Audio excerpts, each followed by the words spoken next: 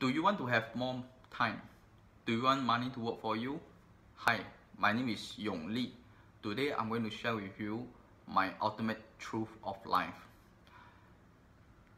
Now, if you boil down life into the simplest form, it only consists of two things.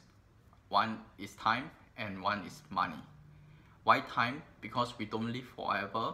And why money? Because we need to earn money for a living.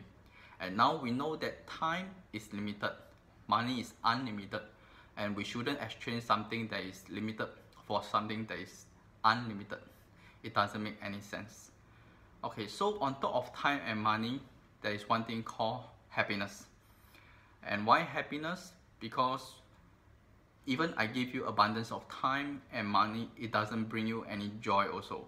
So in life, we need to love what we do and do what we love.